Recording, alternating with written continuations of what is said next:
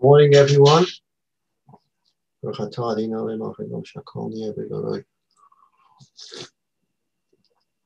the Mishnah Behira, if you turn to page 519, it's a summary of that which we learned in the second part of Perek Bays. second part of Perek Bays is Nogea, the halachas of Shemitah, and it's also Nogea, the halachas of Meiser. Peiros, fruits of a tree, for first example, as we mentioned, grow in different years. They blossom in one year, they may be picked in another year. Vegetables, on the other hand, mature in one year, they may be picked in another year. And because we're dealing with different years, we have different rules. Uh, something for uh, this year is the sixth year. If something is considered a sixth year fruit or a sixth year vegetable, then it's Rishon and Meiser Ani. If it's a fifth year fruit or vegetable, it's Rishon and Sheni. If we move between the sixth and the seventh year, if it's sixth year fruit, it belongs to you, it has no Kedusha Shvias. If it's seventh year fruit or vegetables, it's Kedusha Shvias and doesn't belong to you. So how do we determine whether it's fifth year, sixth year, or sixth year, seventh year? So on page 519, we have a summation of that which we learned. These um, charts in the back of the Mishnah Behira are excellent reviews as you go through different topics in Maseches Shavias. It gives you a basic basic review. So at the top of page 519, Haklal, the rule. Pero shnas hashmita kidoshim b'kedusha shavias hachel me Rosh Hashanah shel erev uh, shnas hashmita.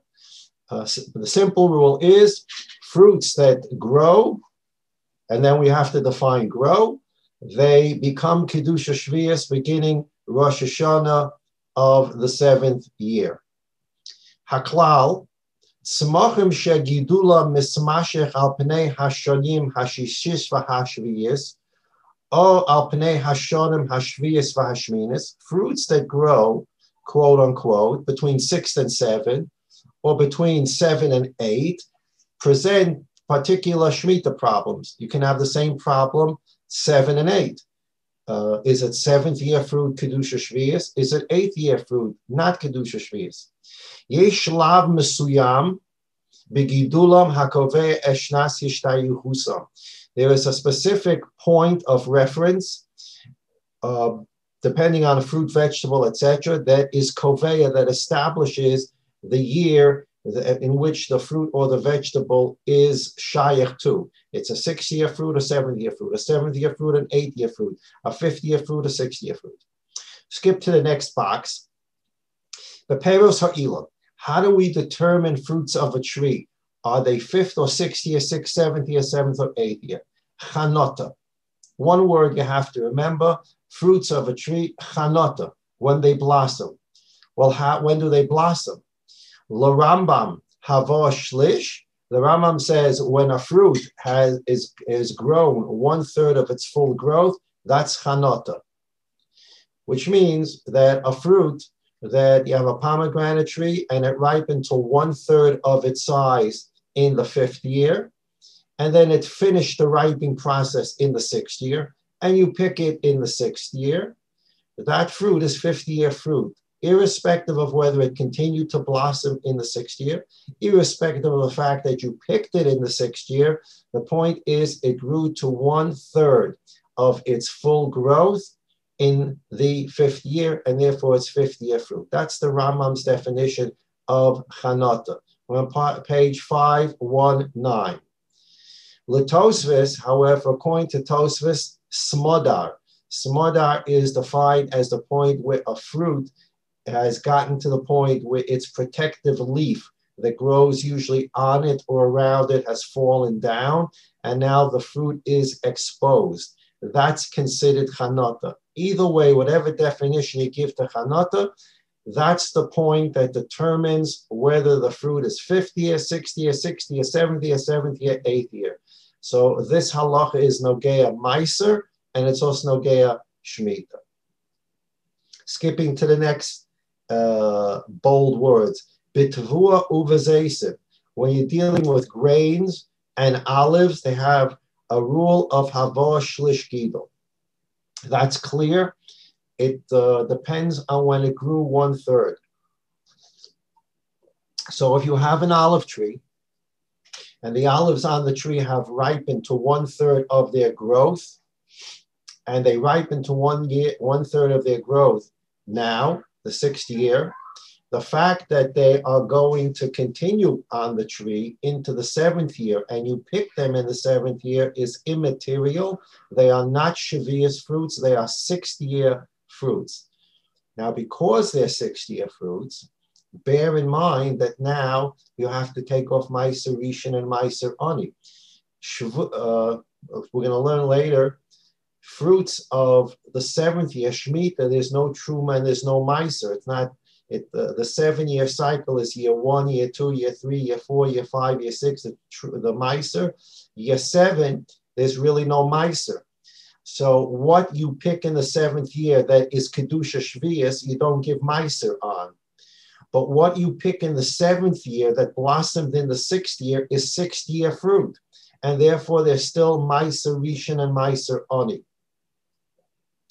When you're talking about an olive tree, or you're talking about grain, but many people do have olive trees. If you're talking about an olive tree, if the fruit of if the fruit of the tree, the olives, have ripened to the point of one third of their growth during this year, the fact that they stay on the tree after Rosh Hashanah, and they get picked then in the seventh year, they are not seventh year Kedusha Shvias olives. They are 60 year olives, which require you to take off my Rishon and Ani. Next rule, back to the chart. The Biarakos, when you're dealing with vegetables, Lakita. It depends when you actually pick it. So you have potatoes that popped out of the ground in the sixth year, and you don't pull them out of the ground until the seventh year. Those potatoes have Kedusha Shavias because they were picked in the seventh year, irrespective of the fact that they fully matured in the sixth year. Next rule. But Ores, remember we learned the four quote unquote exception. Ores, rice, dochen, millet, pragim, poppy, shumshaman, sesame, hashrosha. That depends upon when the seeds took root. And we explained then the problem with poppy, and sesame, millet, and rice. We need a common point in the development of a fruit or vegetable to say this is the cutoff point. So vegetables generally up you plant vegetables, they generally mature at the same time. You plant a whole field of potatoes, they'll generally mature at the same time. And uh, we the, the Chazal will Kovea that the irrespective of whether they all matured at the same time or didn't mature at the same time, the point that's common between vegetables is picking them. So then we know that you're picking the same fruit of the same year. In other words, as we learned, in year one and year two, the Meiser doesn't change. Year one, Meiser Rishon, Meiser Sheni. Year two, Meiser Rishon, Meiser Sheni. But you can't wait two years to take off your Meiser. Meaning, a person picks his pomegranates in year one and picks his pomegranates in year two, mixes them all together, and says, There's no big difference because year one and year two is Meiser and Meiser Sheni. I'm just going to take off a bunch of pomegranates for both years. You're not allowed to do that. The Chazal learn now from a pasuk that the fruits that uh, that that blossomed in year one, you have to take off Meiser separately from those that blossom year two. But the miser is the, the same. It's true, it's the same. But the miser has to be taken off for that which blossomed in year one, separately from that which blossomed in year two. So we're looking for common points. Common points on a tree, a fruit tree, is when the fruit blossoms. Common point on vegetables is when it's picked. On these four items, rice, millet, poppy, sesame, even if you plant them at the same time, they generally mature all over the field at different times and they're going to be picked at different times. So what, what will be the common denominators that I that I know which poppies are year one poppies and which poppies are year two poppies? The common denominator used by Chazal is hashrasha.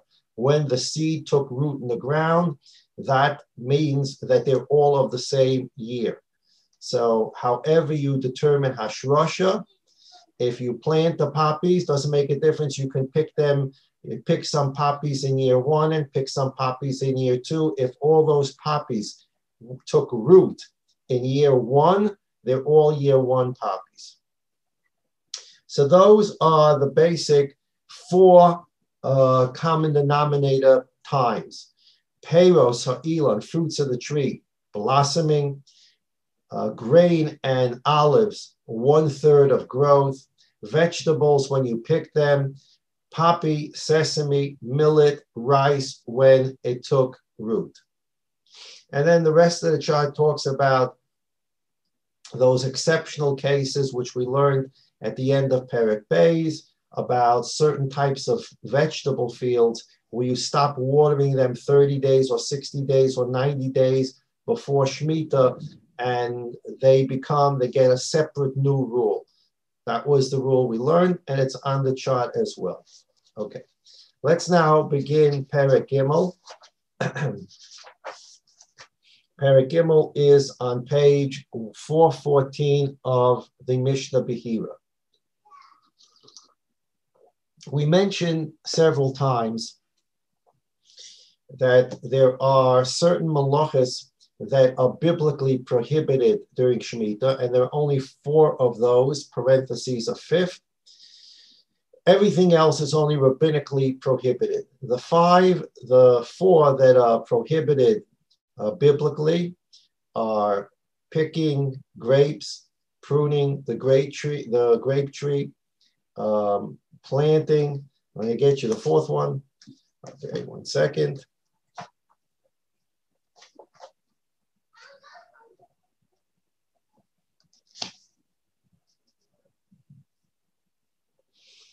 Planting, planting, pruning a grapevine, harvesting grain, and picking grapes. Those are the only four biblically prohibited malachas. And then we put in there also plowing, uh, which has its own source.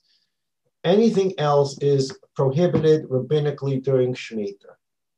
On top of the rabbinical prohibition, Chazal were very concerned. This is a point that we talked about, and now we're going to see it in the Mishnah. Chazal were very concerned during Shemitah about Maris Ayin.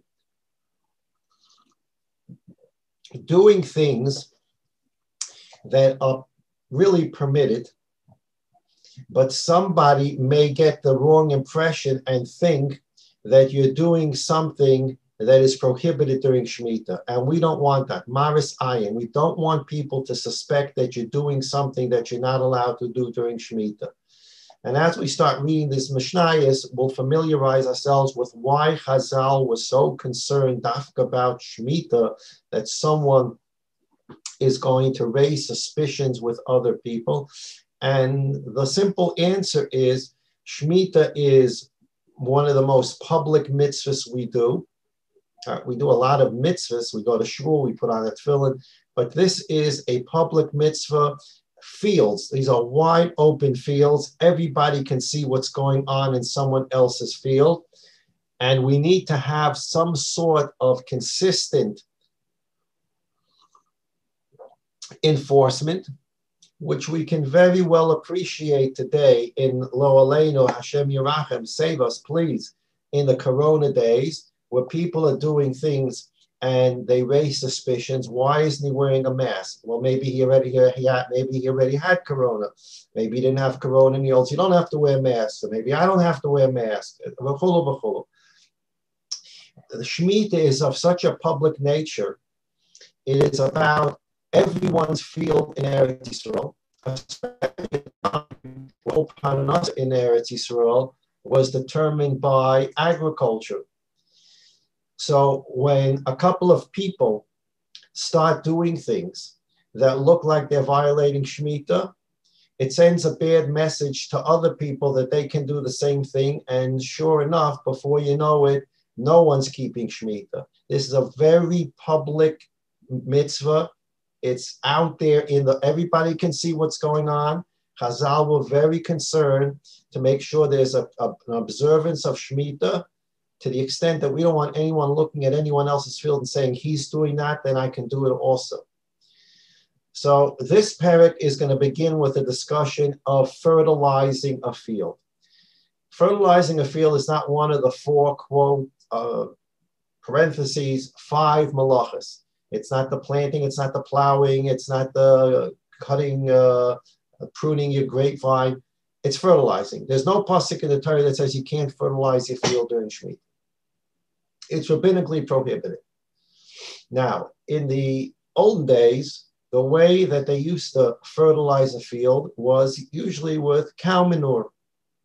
And the cows, if you take a look, uh, for example, at picture uh, 463 on page 415, so you have a couple of cows or bulls, and they're inside their corral, and there's manure there.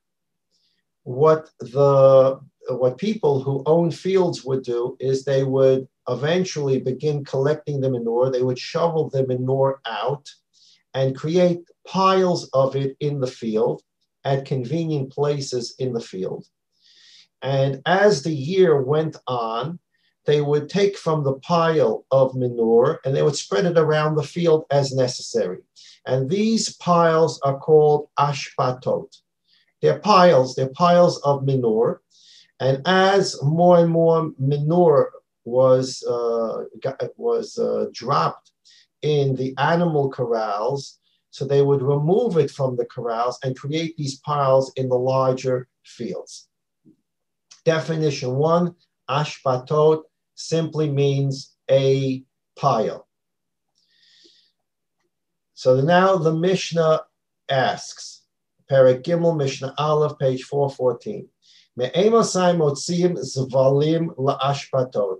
From what point of the year can you remove the manure and create stockpiles? Meaning, if you're going to do what you do during the 60 years of the cycle, you collect the manure, you bring it into your field. Why do you bring it into your field? It's a preparation to create piles, to spread the piles all over the field, to fertilize your field. Fertilizing, excuse me, fertilizing your field is prohibited midrabana. But when a person starts stockpiling his manure in his fields, it really looks like he does, he's not keeping shvius. He's stockpiling the manure in the field because he's getting ready to spread it out in the whole field. Now, Chazal understood that you cannot continue a whole year with the manure obviously piling up in the corrals with the animals. It's not healthy for the animals. It's, it's simply an, an intolerable situation. You need to remove the manure and you need to stockpile it in the field. But if you stockpile in the field, people watching say, oh, he's stockpiling the manure because he's getting ready to fertilize the field. So how do we do this? So the Mishnah says, "May emasimot see it is a vavim lashpato." At what point in the year during Shemitah can I start bringing out from the corrals the manure and creating piles? So the Mishnah now says, and this will give you an idea of what Chazal were dealing with. Mishiyifsiku ovde avoda diver Reb Meir. Reb Meir says you can start stockpiling the manure in the field as soon as those people who are known to be Shavias violators, when those Shavias violators stop stockpiling their manure in the field, once you, there was some period of time known at that in those days, that this is the time that people that don't observe Shemitah, they stockpile the manure. Once that period of time ends, everyone, excuse me, is free to stockpile the manure because the Shavias, the violators, have finished their work. Now let's read the Rav on this, right? This sounds like a very strange rule. Chazal are telling you you can do something once the Bale Avera are finished. but that's exactly what the Mishnah says. Let's take a look in the Rav on page 414. Mishayifsiku ovre aveira. Lavod es ha'oretz b'shana hashvias. When the, if you take a look at the Rav in the bold words of the Rav on the first of the white lines, it says Mishayifsiku ovre aveira. When the sinners stop. Our Mishnah on page 415 on the top line says Ovdei Avoda, the workers, the people who who violate Shemitah by working in the field. Now, if you change the Dalit to a Reish, Ovdei becomes Ovrei, Avoda becomes Avera. So that was the Rav's girsa in the Mishnah. Mishayivsigu Ovrei Avera. When the sinners stop stockpiling the manure in the field, Everyone else is free to do it because then no one is going to look at you and say, you're also an Over Avera because that period of time where the Over Avera were busy stockpiling the manure and fertilizing the fields has passed. So now there's no Maris Ayin for the person who wants to observe Shavias. So the Rav says on page 414, Mishiyifsaku Over Avera Lavo Ores Bashana Hashvias. V'kodem sheyifsiku over avera osa. But before the over avera, those who do not respect Shavias and they violate Shavias, before that, while they're still violating Shavias and bringing out the stockpiles, also you're prohibited. People shouldn't say, you also must be one of the sinners because you're stockpiling the manure during the time that the sinners who we know work their field. They are stockpiling the manure to work the field, and now you're one of them. So we wait till those kind of people are done.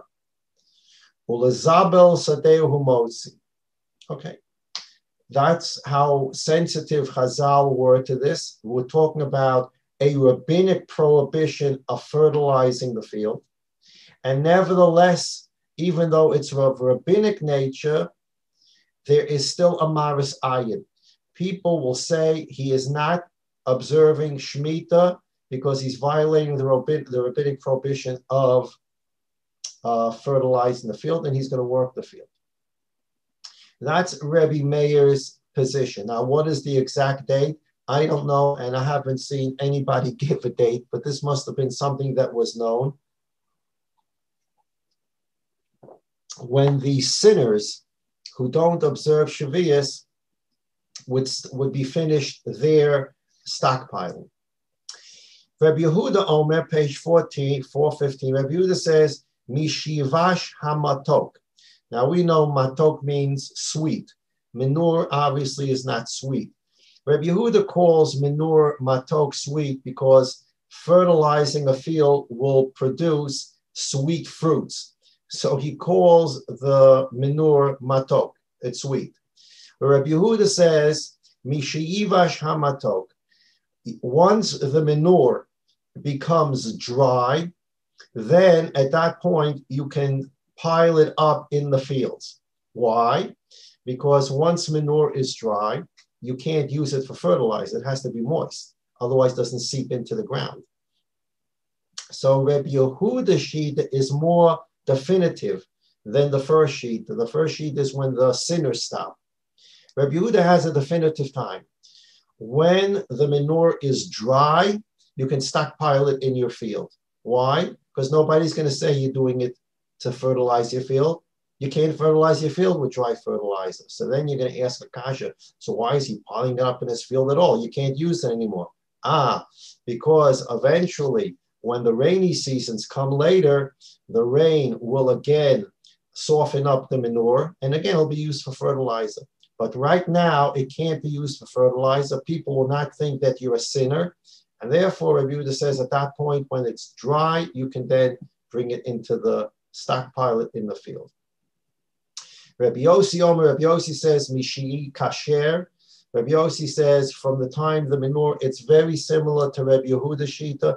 From the time the manure sort of bonds together and becomes knotted together, the Mefarshim say Rabbi Yehuda and Rabbi Yossi really are not arguing about much. It could be they're only arguing about a definition How do you know what the point is? And one reviewer says when it's drying. Rabbi Yossi says when you see it's getting knotty.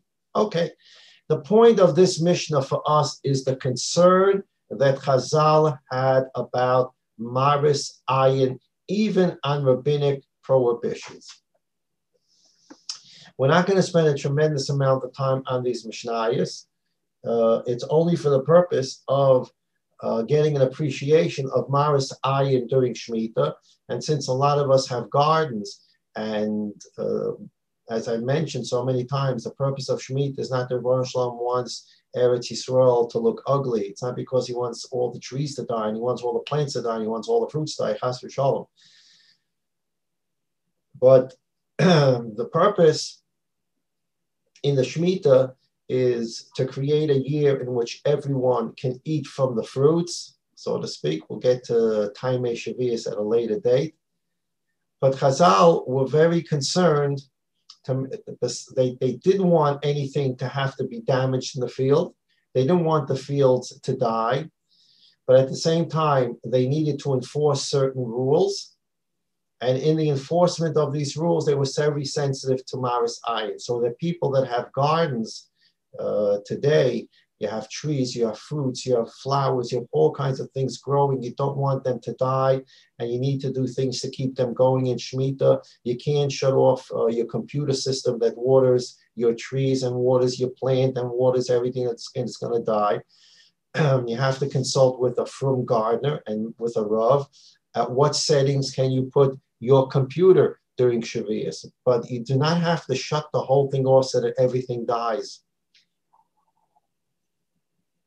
At the same time, you need to be sensitive to when you go into your garden and you're going to be doing things in your garden, or your gardener is going to be doing things in your garden. You have to make sure it's okay in halacha, and it's not. There's no issue of maris ayin that people will say, "Hey, look what Reuben's doing in his garden."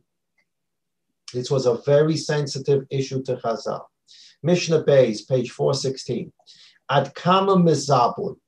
Mishnah Aleph taught us that you, at some point in time, you can begin to stockpile manure in your field. Now, the question becomes how much can you put in the field without it looking like you're really in the process of uh, preparing the field for fertilization? So, this Mishnah is now talking about the time that it's permitted. In other words, Mishnah Aleph said Let's take, for example, Reb Yehuda. Reb Yehuda said that when the manure hardens, at that point, you can then stockpile it. Before that, you can't, because it looks like you're fertilizing the field. Now the Mishnah takes the next step. After the manure has hardened, and therefore there's no real Maris Ayin, is there a limit to how much you can stockpile even when you're permitted to stockpile? And the answer is yes, because if you begin stockpiling all over the field, many, many heaps of manure, it again looks like you are going to be fertilizing your field, even though it's dry. It dry here, dry there. If you do it in a way that you spread little piles of dry manure all over your field, it again looks like you're preparing for fertilizing the field. So the Mishnah now asks, Akam Mizapim, when the time arrives that you're allowed to stockpile the manure, it could be according to the, the first opinion of Mishnah, it's after the violators stop. Reb Yehuda, it's after the manure has hardened, oh, or Reb Yossi, after it's become knotted. After the point where you're allowed to stockpile, how much can you stockpile during the seventh year? At sholosh sholosh ashpatot lebeis One. Remember, we learned about the beis in Perek Aleph. A beis is a field that's 50 amos by 50 amos or 2,500 square amos. We learned about that when we talk about a field of fruit trees. When till when can you plow it? So the first part of the definition is in an area of a field that's 50 amos by 50 amos, you can put three piles there. If you took a, take a look at page 65 on page 416, it's showing you three piles in 50 amas by 50 amas, but that doesn't really tell me much. How much is allowed to be in each one of those three piles? Is there a minimum? Is there a maximum? So the Mishnah says, Shel eser eser mash pelot. A mashpela is the box that the farmers would use to um, move manure from the corral into the field.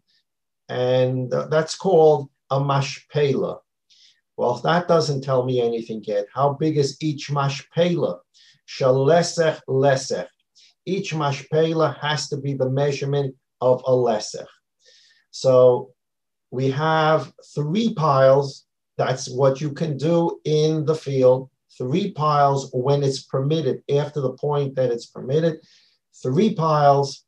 Each pile has to have at least, not not it's allowed to have as a maximum. This is a minimum.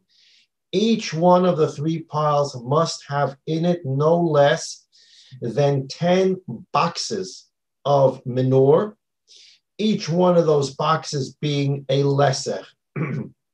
so each one of those piles has 10 lesechs of manure, Altogether, you're talking about 30 lesechs of manure. You want to add to the piles, you can add to the piles, but you can't have smaller piles. Why? The bigger the pile becomes, the more people realize it's just a stockpile. Nobody puts that big piles in a field if he's fertilizing right now. If you're fertilizing right now, you make small little piles all over your field for your convenience. You don't make a tremendous stockpile in one place and then you're going to have to shovel it all over the place. That's double work. First stockpile it and then bring it all over the place. So the bigger the pile is, the more it's being stockpiled, and people will not think that you're getting ready to fertilize the field. The smaller it becomes, and the more piles you have around the field, it begins to look again like you're fertilizing the field. So the first definition is how much can you stockpile once it becomes permitted? Three piles in a Beit uh, Each pile has 10 boxes of manure. How much is each box? A lesech. So the Mishnah says, Mosifin al hamash pelos. This is what we just said.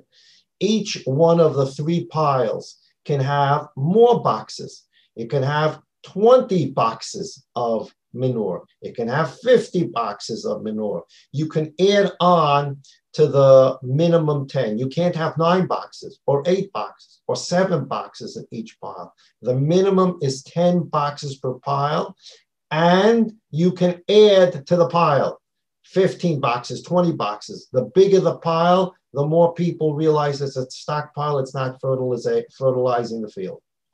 For ein mosifen al ha'ashpatot. However, you cannot add to the number of piles piles are only three piles in a Beit no more.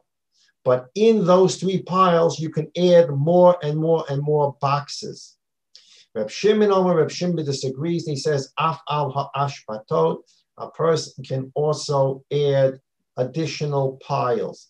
You don't have to have only three, you can have additional piles. We don't understand Rabbi Shimon as yet. We will not fully understand Rabbi Shimon until we learn Mishnah Gimel. Rabbi Shimon continues his Shita in Mishnah Gimel. Blineda, we will take a look at that tomorrow. Again, we're going to go through some of these Mishnayos very quickly. We're just getting the idea about what you can do and what you can't do because of the sensitivity of what people looking on will think you're doing, that you're a violator of Shavias and that's Maris Ayin.